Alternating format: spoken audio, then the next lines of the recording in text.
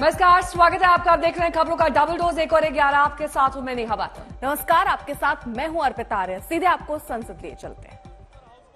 Sir question number 181 sir sir sir ji प्रश्नकाल के बाद। सर ये सवाल बहुत महत्वपूर्ण है सर मैं आपको पर्याप्त समय पर्याप्त अवसर दूँगा प्रश्नकाल के बाद। विनती करता हूँ प्रश्नकाल के बाद माननीय सदस्य ये सदन आपका है। क्वेश्चन आवर चलने दीजिए सदन में सबको पर्याप्त मौका पर्याप्त अवसर हमेशा दिया है। मेरा आग्रहपूर्ण निवेदन है कि आप सब सीटों पर विराजे। मैं आपको पर्याप्त समय पर्याप्त अवसर हर विषय पर चर्चा के लिए दूँगा। आप नियम के तहत नोटिस दीजिए मैं आपको अलाउ करूँगा। Question number 181 sir sir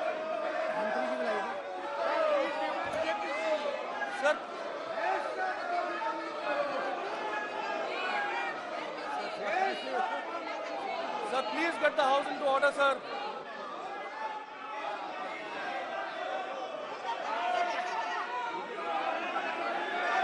sir sir sir मेरा सवाल है सर ये तरीका ठीक नहीं है। सर ये संसद है मर्यादा रखें। तख्तियाँ लेकर आना उचित नहीं है। मैं सभी मान्य सदस्यों से आग्रह करना चाहता हूँ। नो गलत। ये सदन आपका vast talent immense creativity and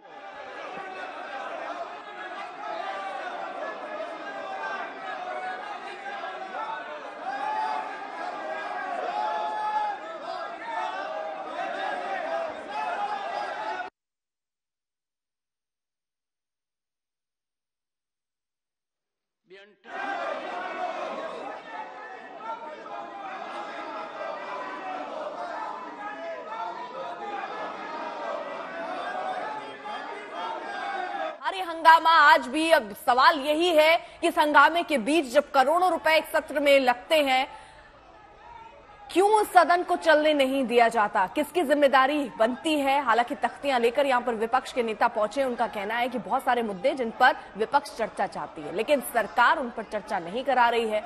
सड़क से लेकर संसद तक वो विरोध जता रहे हैं। संसद के अंदर भी तख्तियाँ लेकर पहुँचे हैं। विपक्ष का ये विरोध देखकर बार बार ओम बिरला ये कहते नज़र आए कि तख्तियाँ लेकर अंदर आना ठीक नहीं। आप अपनी अपनी बात रखें।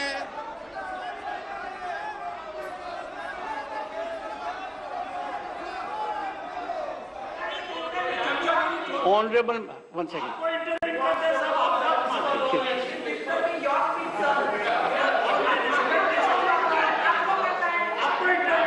Shakti Singh ji your smile is full of Shakti. Captivating honourable members there are some occasions when we must be only in one mode and that is mode of happiness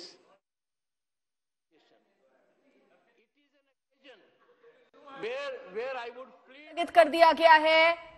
दो बजे तक के लिए ये कार्रवाई स्थगित की गई है। आपको बता दें, अडानी के मुद्दे पर जेपीसी की मांग को लेकर लगातार कांग्रेस पार्टी प्रदर्शन कर रही है। चाहे वो सड़क हो, सदन में भी बहस गर्मा गर्मी और जिसको लेकर सदन की कार्रवाई कल भी हमने देखा, स्थगित करनी पड़ी थी और आज भी जैसे ही सदन की शुरुआत नेहा हुई, तुरंत ऐसा हुआ कि बोलने के लिए कहा गया, समय देने की बात कही जा रही, लेकिन बावजूद इसके जब शांति नहीं बन पाई तो स्थगन स्थगित किया गया है दो बजे तक के लिए। बिल्कुल और ये देखना बेहद दिलचस्प है कि क्या आज दो बजे भी दोबारा कार्रवाई शुरू हो पाती है नहीं क्योंकि कल भी अर्पिता देखा गया था जब सदन की कार्रवाई दोबारा शुरू हुई थी जोरदार हंगामा और इस बीच फिर से कार्रवाई को स्थगित करना पड़ा था। And it's a great mark of recognition for India that elephant one more thing it's about sustainability and it that sustainability has become core to our philosophy. And finally, sir, Triple R, the script writer is an honorable member of parliament. Mr. V.V. Prasad, I think we all owe a debt of gratitude to acknowledge Mr. V.V. Prasad's contribution. Honorable members, one second. Uh, honorable members, I am so happy that Leader of the House has confined only to the issue. I'll I'll now call upon leader of the opposition. And sir, I- I'm told by leader of the house that the scriptwriter is our member. We need to congratulate him. He is a member of House of Elders, the upper house. Honorable leader of the opposition. Sir, Rajiv ji, uh, we presence is always impactful. Sometimes absence is equally impactful. Honorable leader of the opposition. I also join to congratulate both the awardees and uh, particularly first time such a award is given to this Natu Natu and also to the elephants, the things. So both uh, mostly they come from South India.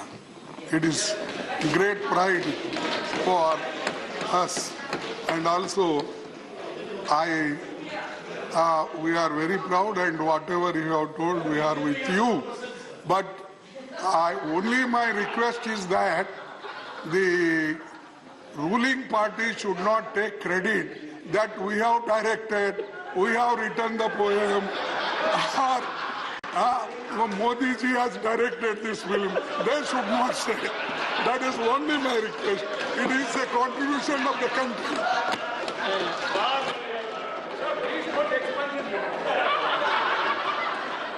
Well, uh, I have had the occasion, honorable member, this morning to read several newspapers and there is extensive coverage. It was very enlightening. And it's a shift. It's a recognition we must all take pride. After all, we are proud Indians, have to pride. In 1984, we got an Oscar.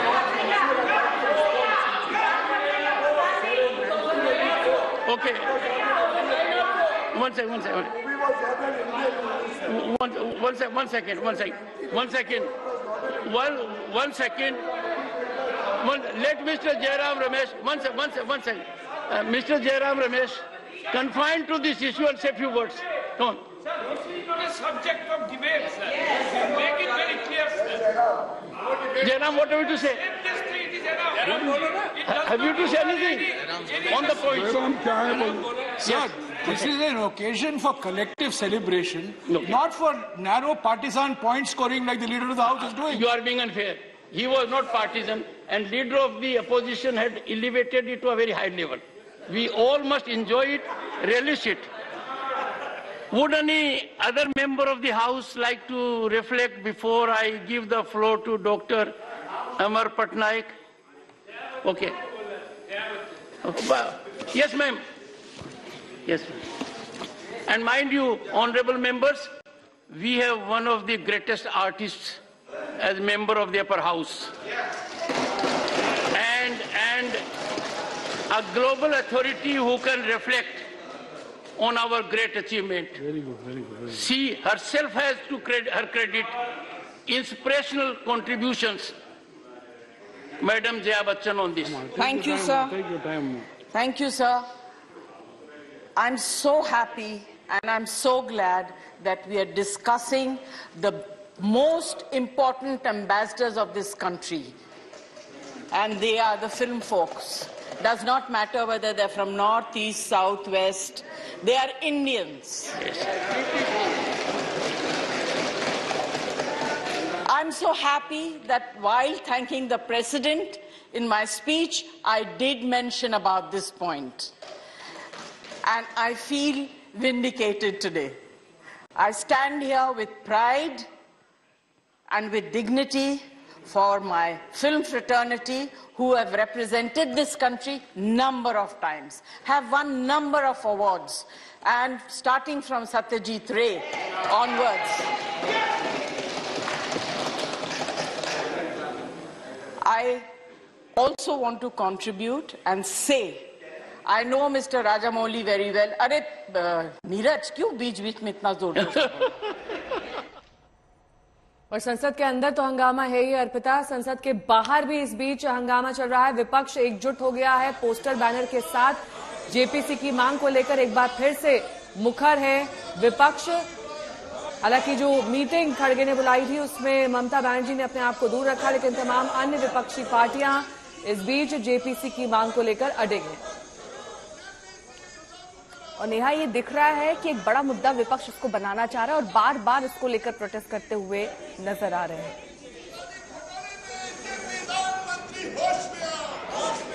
ये देखिए आवाज़ हमारे पास भी है हम भी बोल सकते हैं मगर जब कोई सभ्यता की बात होती है तो असभ्य व्यवहार मत करिए।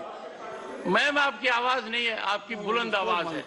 नहीं वही मैं कह रही हूँ sir. You you have the distinction to belong to a family that has a terrific DNA for creativity in film industry. Thank you for your uh,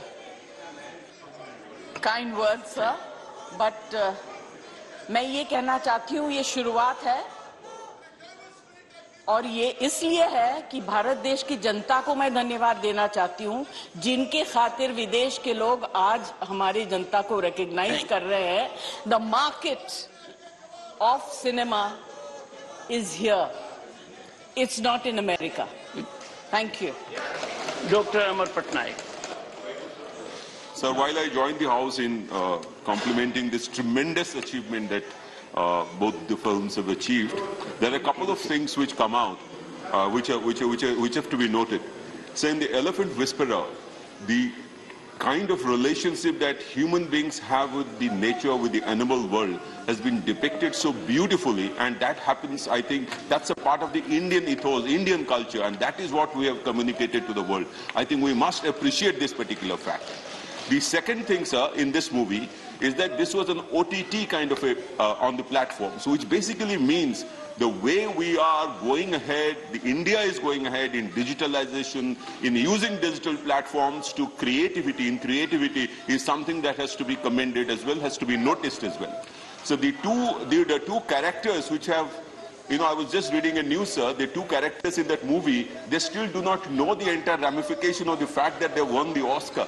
And they are, uh, they have been given a new elephant, orphan elephant, to rear up. They have left the two who, were already there. So this is a tremendous thing. And this is a celebration of the fact that in India, we are the ones who can show to the world the sustainable way of living in this world.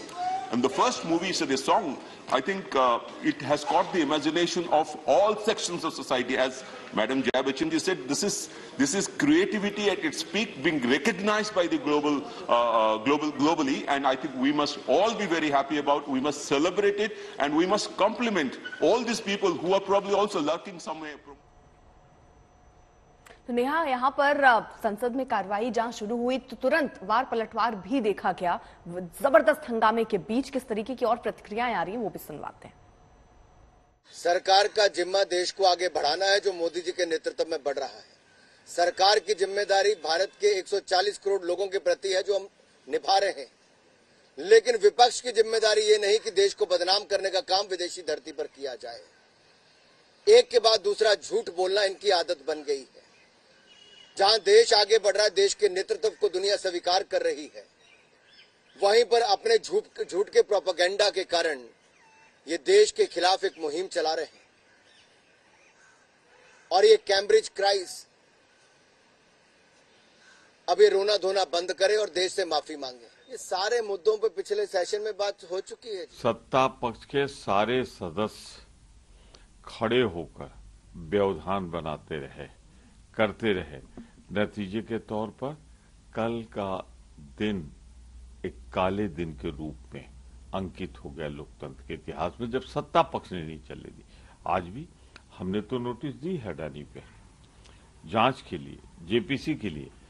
अब सत्ता पक्ष को ये देखना है कि अपने मालिक अडानी को बचाने के लिए भाजपा कब तक सदन को नहीं चलने देगी।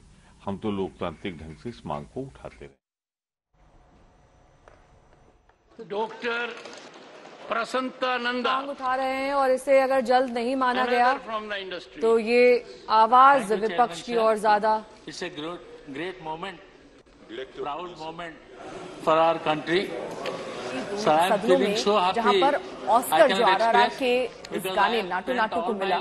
उसकी चर्चा सदन तक हुई है। हर कोई ये कह रहा है कि कैसे भारत देश का डंका अब बचना शुरू हो चुका है और ये एक नई कहानी आगे लिखेगा भविष्य में। Oscar award to a Netflix. के अलावा शॉर्ट डॉक्यूमेंट्री कैटेगरी में एलिफेंट विस्टर्स को भी ऑस्कर मिला है। उसको लेकर भी सदन में चर्चा हुई बधाई का दौर चला। कल भी हमने देखा था कि कैसे प्रधानमंत्री समेत अन्य नेताओं ने भी ऑस्कर्स के लिए बधाई दी थी। तो दूसरा दौर बजट सत्र का चल रहा है लेकिन विपक्ष का शोर भी लगातार सुना जा रहा है। सदन के भीतर और बाहर। के किसी मेंबर को मिलेगा। Honorable members, uh, I feel the absence of legal. तो अंदर बधाइयों का दौर और बाहर वार पलटवार जैसी स्थिति और कहीं भी इसके सुलझने के जल्द आसार नहीं दिखाई दे रहे। शोर कौन मचा रहा है? विपक्ष नहीं मचा रही है। सत्ता पक्ष मचा रही है शोर लोकसभा में और राज्यसभा में। क्योंकि वो डरी हुई है, वो नहीं चाहती, क्योंकि विपक्ष एक है। एक आवाज़ से हम कह रहे हैं कि प्रधानमंत्री से संबंधित अडानी महाघोटाले पर जेपीसी की जाँच होनी चाहिए। सरकार नहीं चाहती है तो ये एक नया बहाना दोनों ने ढूंढ लिया। पूरा विपक्ष खिसियानी बिल्ली खम्बा नोचे की स्थिति में है। भारत के उपराष्ट्रपति माननीय धनखड़ जी ने भी कहा है माइक खुले रहते हैं। बोलने की आज़ादी है, लेकिन जिनके पास कोई मुद्दे नहीं है, केवल शोर शराब मचा करके भारतीय संसद का समय बर्बाद करने का प्रयास करते हैं।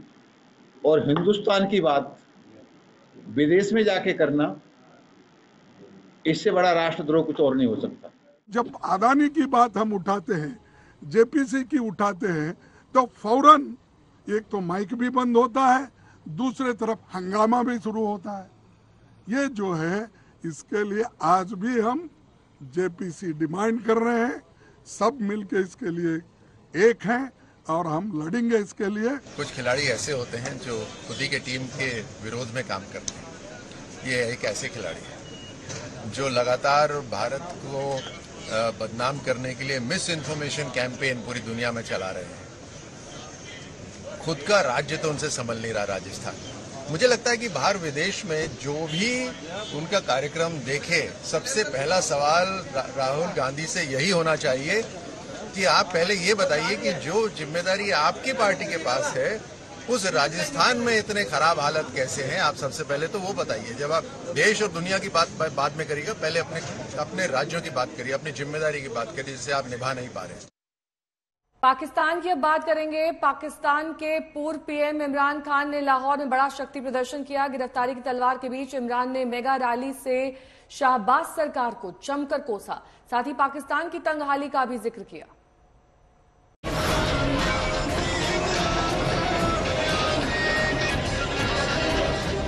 ये जो ऊपर मुल्क के बड़े बड़े मुजरिम बैठे, किसी तरह इलेक्शन से हमें बाहर करें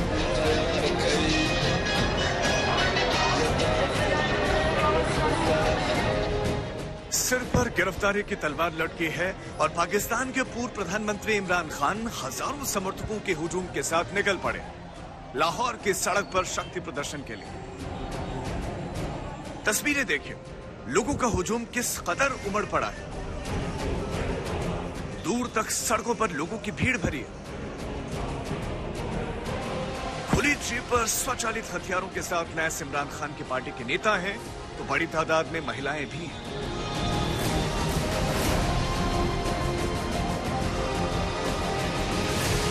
Imran Khan bomb proof car में सवार थे। उन पर गुलाब की पत्तियाँ बरसाई जा रही थी। रैली और तकरीर की मनाही थी, लिहाजा इमरान बुलेट प्रूफ कार के भीतर से लोगों को संबोधित करते नज़र आए। इंशाल्लाह, अगली इतवार को दोपहर के दो बजे हम मीनारे पाकिस्तान में जलसा करेंगे।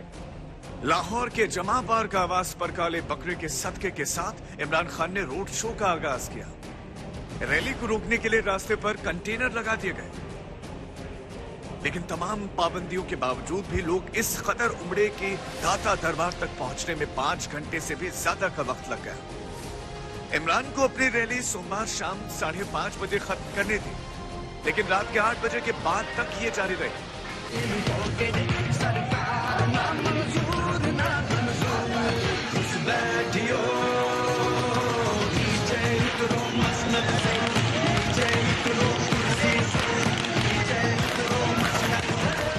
इमरान ने आरोप लगाया, शहबाज सरकार लगातार लोकतंत्र का गला घोटने में लगी है।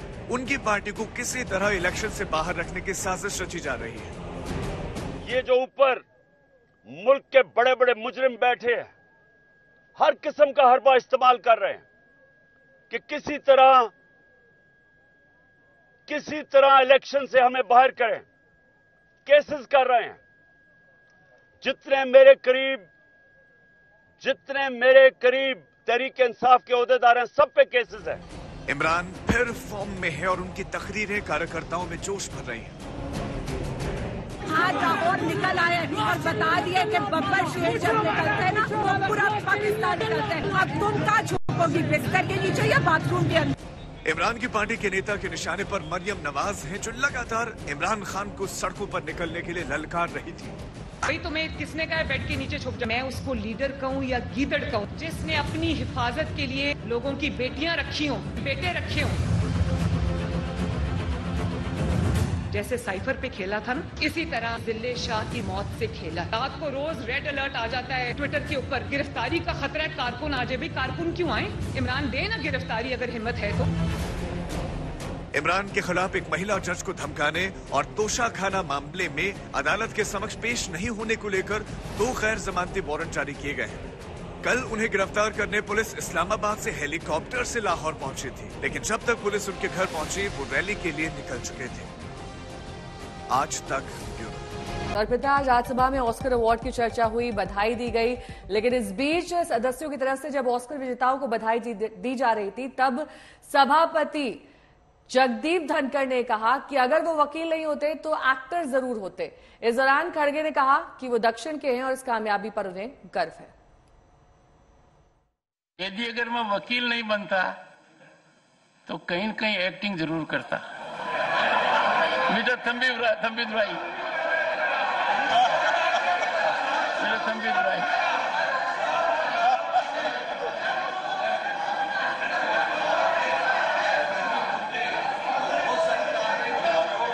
भावनाएँ आज हम यहाँ व्यक्त कर रहे आपके प्रति भी इसी तरह की भावनाएँ हम व्यक्त करते होते यदि अगर मैं वकील नहीं बनता तो कहीं न कहीं एक्टिंग ज़रूर करता। मेरा तंबी तंबी भाई मेरा तंबी भाई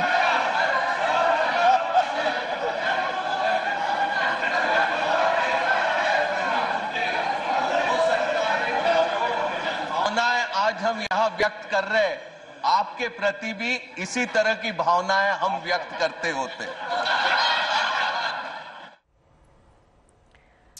और इस बीच अब बात उमेश पाल हत्याकांड की करेंगे, जिसको लेकर अब इनाम की राशि को बढ़ा दिया गया है।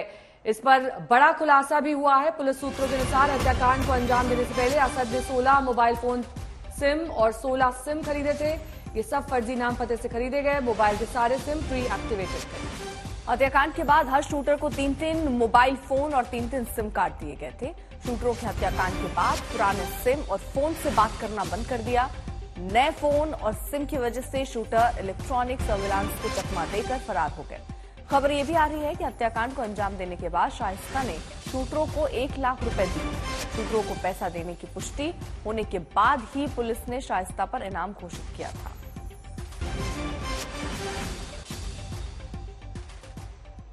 तो प्रयागराज हत्याकांड को पूरी तैयारी से अंजाम दिया गया और इस वजह से अतीक का बेटा असद समेत पाँच शूटर्स अब भी फरार हैं। पुलिस को उनका कोई सुराग नहीं मिल रहा है। और अब पुलिस ने उन पर घोषित इनाम को बढ़ाकर पाँच लाख रुपए कर दिया। और ये दिखाता है कि हाथ मल रही यूपी पुलिस की बेचैनी किस कदर बढ़ गई है।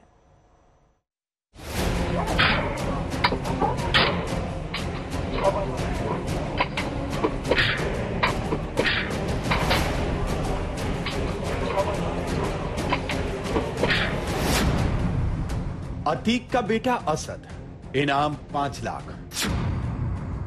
शूटर साबिर, इनाम पाँच लाख। गुड्डू मुस्लिम, अब पाँच लाख का इनाम। मोहम्मद गुलाम, सिर पर पाँच लाख का इनाम। अरमान का सुराग देने वालों को मिलेंगे पूरे पाँच लाख।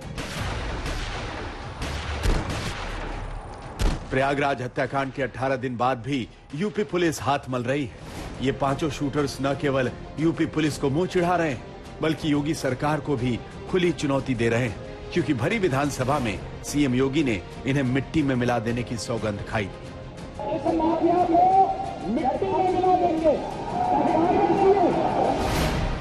मगर 18 दिन बीत जाने के बाद भी पुलिस के हाथ खाली है। 22 टीमें 100 से ज़्यादा नंबरों पर सर्वेलेंस। नेपाल भूटान तक उसकी दौड़ धूप नाकाम साबित हुई है। उसे समझ नहीं आ रहा कि इन पाँचों शूटर्स को ज़मीन निगल गई या आसमान खा गया। ये गए तो कहाँ गए? 24 फरवरी को प्रयागराज में दिन दहाड़े हत्याकांड हुआ। सारे शूटर्स लखनऊ से आई अलग अलग गाड़ियों से फरार हो गए। वारदात को लीड कर रहे अतीक के बेटे असद की तलाश में एसटीएफ की दो टीमें नेपाल तक पहुँची, लेकिन असद पकड़ में नहीं आया। अब सवाल यह है कि कहीं नेपाल से ये शूटर्स दुबई तो नहीं निकल गए? उमेश पाल हत्याकांड के योगी सरकार के मंत्री ताल ठोक रहे हैं कि दुनिया में ये शूटर कहीं भी छिप जाएँ उन्हें बख्शा नहीं जाएगा। अपराधी उत्तर प्रदेश में छिपा हो या दुनिया के कहीं किसी कोने में छिप गया हो उसको योगी सरकार कानून व्यवस्था के माध्यम से हमारे प्रशासनिक अधिकारी पुलिस पूरी तरीके से लगी हुई है। उसको खींच कर निकाल कर ले आएँगे। सरेआम उसको दंडित करने का काम किया जाएगा। उमेश पाल हत्याकांड के अभियुक्त किसी भी हाल में बख्शे नहीं जाएँगे। सवाल यह है कि ये पकड़े कब जाएँगे? पुलिस इनाम की राशि बढ़ाती जा रही है, लेकिन सुराग नहीं मिल रहा। प्रयागराज पुलिस ने इन पाँचों पर सबसे पहले पचास हज़ार रुपए का इनाम घोषित किया था। जब कोई सुराग नहीं मिला तो यूपी के डीजीपी ने इनाम की राशि को बढ़ाकर ढाई ढाई लाख कर दिया। मगर 18 दिन बाद भी पुलिस के हाथ खाली ही रहे तो इनाम की राशि को पाँच पाँच लाख कर दिया गया। यूपी की पुलिस को हैरानी ये नहीं है कि ये शूटर फरार है। परेशानी ये भी है कि अतीक की पत्नी शाइस्ता भी रफू चक्कर है, और पुलिस उसे भी नहीं ढूंढ पा रही। शाइस्ता पर पुलिस ने पच्चीस हज़ार रूपए का इनाम घोषित किया और अब उसे बढ़ाकर ढाई लाख करने की तैयारी। है वहीं योगीराज के नाम पर अब भी बीजेपी विधायक अतीक और मुख्तार के खात्मे के दम भर रहे हैं। उत्तर प्रदेश की पुलिस किसी भी हाल में उन दोषियों को बख्शेगी नहीं, क्योंकि मुख्यमंत्री जी का सख्त रुख है कि एक भी अपराधी उत्तर प्रदेश में बचने नहीं चाहिए। और अतीक अहमद और मुख्तार अंसारी जैसे लोग भी जल्द ही मारे जाएँगे या उनके साथ कोई ऐसी घटना होगी कि वो उनको एक सबक सीखने को मिलेगा और उत्तर प्रदेश में लोग अमन चैन की नींद सोएँगे। इन बयानों के बीच हकीकत यही है कि अतीक के गुर्गों ने बेखौफ होकर बिना पहचान छिपाए दिन दहाड़े एक ऐसे इलाके में उमेश पाल की हत्याकांड को अंजाम दिया, जहाँ चप्पे चप्पे पर सीसीटीवी कैमरे लगे थे। यही नहीं, उनका बड़ी आसानी से फरार हो जाना, अब तक पुलिस की पकड़ से दूर रहना अतीक की शातिर चाल के आगे यूपी पुलिस के हाल को बयां करता है। देवरिया से राम प्रताप और मिर्जापुर से सुरेश कुमार सिंह के साथ आज तक ब्यूरो। और शूटर्स का 18 दिन बाद भी फरार रहना अर्पिता, ये बताता है कि योगी, राज और पुलिस के लिए अब एक बहुत बड़ी चुनौती है उन्हें पकड़ना। बिल्कुल नहीं, और वहीं हर बीतते दिन के साथ अब ये और मुश्किल होता जा रहा है। उमेश पाल के परिवार भी अब और मायूसी में है। और कल आयोजित श्रद्धांजलि सभा में उमेश पाल की पत्नी और माँ ने सीएम योगी से इंसाफ की गुहार लगाई है।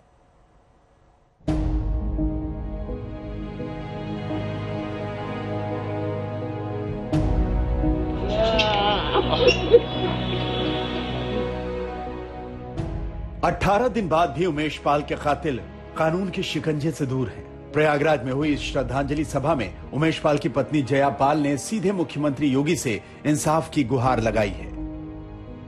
तो योगी जी ज़रूर करेंगे, ऐसा नहीं है। वो सबके पिता एक तरह से है। अब हम लोग उनके बच्चे हैं। कम से कम एक बेटिया अपने पिता से गुहार लगा रही कि आग ठंडी ना होने दे, उसको खत्म करे। वो बचने ना पाए। इतना कहते ही जयापाल की आँखें भर जाती हैं। गला रूंध जाता है। पति की यादें आँखों के सामने तैरने लगती हैं। वो रोंगटे खड़े कर देने वाला वाकया झकझोर देता है। अब सीएम योगी से इतनी ही पुकार है कि वो आग जो पति की चिता से निकली, उसे ठंडा होने से पहले शूटरों को उनके अंजाम तक पहुँचा दिया जाए। शासन न्याय करेगा। उम्मीद है, भरोसा भी है। लेकिन देर मत करें, क्योंकि जो जलती हुई आग में जो खत्म हो सकता है, वो ठंडे होने पे नहीं होगा। वो फाइलें दबा दी जाएगी। ऐसा कोई काम ना हो, भगवान। उनको जो, जिसने किया है घटना, उन सबको किसी को छोड़ा ना जाए। सब खत्म हो। उम्मीद भी है और एक डर भी कि कहीं ये केस दब न जाए। शूटरों के अब तक फरार होने पर मायूसी भी है और अतीक के आतंक का खौफ भी। उमेश पाल की माँ शांति पाल को अब भी भरोसा है कि योगी सरकार की पुलिस कातिलों को ढूंढ निकालेगी। तो यही कहना है कि मुख्यमंत्री जी इतना शासन कड़ा करे, उनका शासन प्रशासन हाथ में है, गुंडों को ढूंढ ढूंढ के मारे। और हम क्या कर सकेंगे? जैसे मेरे बेटे को मारा है, कातिल कोई बचने ना पाए। जैसे मेरे बेटे को तड़पा के मारा, ये मारे जाए। कब तक भागेंगे? शांतिपाल का दावा है कि ये साजिश साबरमती जेल में बंद अतीक ने रची। इसमें उसकी पत्नी शाइस्ता समेत पूरा परिवार शामिल था। मकसद था राजूपाल हत्याकांड और अपने अपहरण केस में गवाही देने वाले उमेश पाल को हमेशा के लिए खामोश करना। आतिक ने तो करवाया ही आतिक ने मरवाया है इसलिए कि भाई उसने अपहरण कराया। उसका अपहरण का मुकदमा चल रहा था मुकदमा किनारे आ गया तो उसी ने तो मरवाया अपने बेटे गुंडों से। इसमें शाइस्ता और तमाम लोग हैं फरार हैं ये लोग भी शामिल हैं पूरा परिवार ये सब। कि बेटा जब आदमी वहाँ से षडयंत्र रचेगा तो उसकी बीवी उसके बच्चे सभी लोग सहयोग करेंगे। तो हम तो ने किसी को देखा नहीं, ना किसी को सुना, ना समझा। अगर देखे होते, समझे होते तो अपने बेटे को सतर्क न करते। उमेश पाल का परिवार बेइंतहा गम में डूबा है। 18 दिन बाद भी पूजा पाल के आँसू सूख नहीं रहे। वहीं उमेश पाल की माँ की आँखों से उदासी, मायूसी और लाचारी साफ़ देखी जा सकती है। उमेश पाल और उसके दो सरकारी गनर्स की ये तस्वीरें जहाँ उसके परिवार वालों के दिलों पर टीस पैदा कर रही हैं, वहीं यूपी पुलिस और योगी सरकार को कहती दिख रही हैं कि अतीक और उनके शूटर्स को मिट्टी में आखिर कब मिलाया जाएगा। प्रयागराज में आनंद राज के साथ संतोष शर्मा आज तक। तो देखिए 18 दिन बीत गए हैं अर्पिता और यहाँ पर पुलिस के हाथ खाली है क्योंकि शूटर्स और अतीक की पत्नी शाइस्ता परवीन अब भी फरार हैं। इस बीच अतीक को साबरमती जेल से यूपी लाने की संभावना बढ़ गई है। और यहाँ इस बीच 24